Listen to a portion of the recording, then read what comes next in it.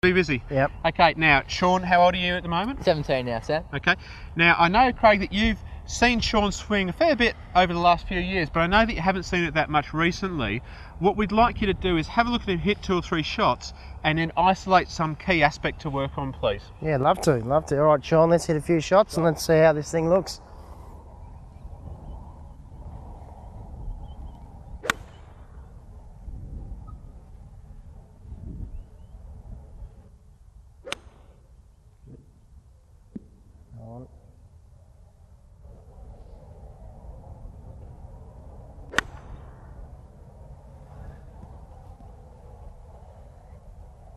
Well, Sean, you've done some good work over the last few years.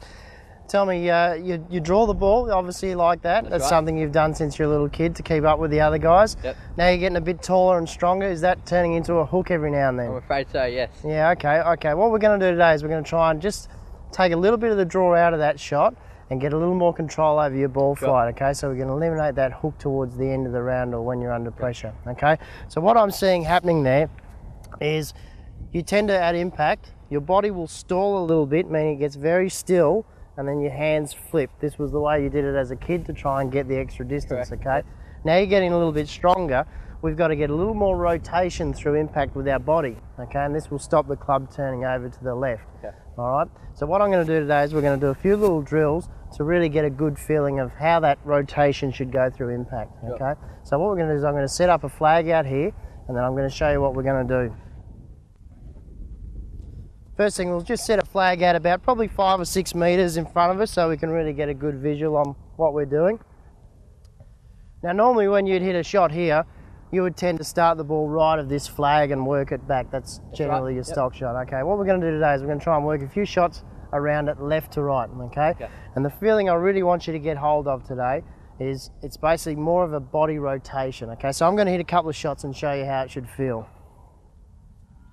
Okay, so the idea is at impact, I really want this body turning a lot harder as opposed to this. Okay, and the sort of feeling we're going to get, we're going to hit a few shots, and we're really going to get that body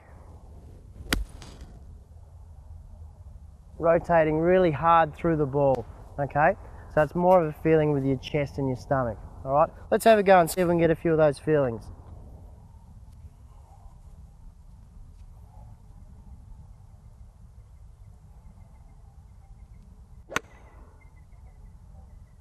Okay, so need a little more turn through the here. We need to really get this feeling of this Okay. body turning a lot harder than okay.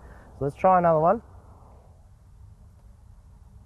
Really, really turn that midsection of your body really hard and aggressive through the ball. Yeah, that's a little closer. All right, let's hit one more. And this time, what I want you to do is try and hit a low fade around there. So really rotate hard with that chest and stomach.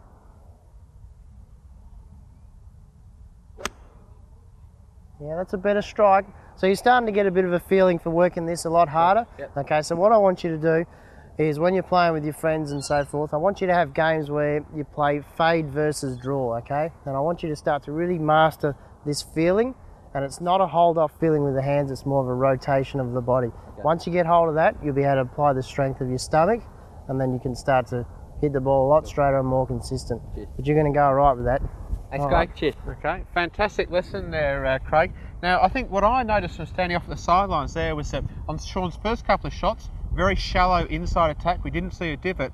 On your first shot, when you demonstrated, we saw that nice divot, and then Sean worked towards taking a divot like that. It was very good. Yeah, so it's a lot more. He's covering the ball a lot more. and Yeah. it- keeping the club on line a little more as opposed to a glancing blow with his hands. Yeah, okay? much better content. How did that feel for you, champ? Beautiful, Sam. Thank you very much. Okay. Now, um, I think the key part of this lesson was that for a lot of um, parents out there that have a junior, as they get taller, they get stronger. Um, they really do need a great teaching professional like yourself to keep monitoring the swing and the changes that need to take place. Yeah, for sure. I mean, the, the young kids, they're products of their environment. So when they're playing with their friends, there's a lot of pressure for them to hit the ball a certain way. I mean, you tend to hear the younger kids, they really hate fading the ball and so forth.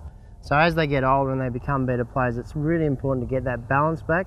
And the way you've got to do it is rather than having them hit thousands of balls. You've actually got to try and make it a bit of fun for them and maybe make it uh, a lot more competitive. Do it with their mates, and they'll really get a, a handle on these aspects without them trying to do it. Of course, and uh, to be successful out on tour, well, you've got to have the draws and the fades, haven't Got you, to mate? have them all. Thanks, gentlemen, for being on the show with us today. Thanks, Sam.